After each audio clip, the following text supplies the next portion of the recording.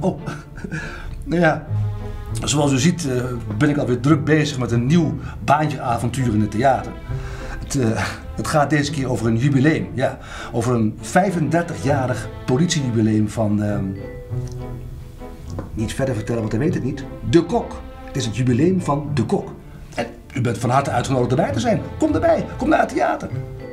Naast de kok, gespeeld door Peter Tuinman, speel ik Dick Fledder. En ook deze voorstelling gaat weer over een bizarre moord. En wij gaan die proberen op te lossen. Maar we hebben jouw hulp nodig. Dus kom naar Baantje Live.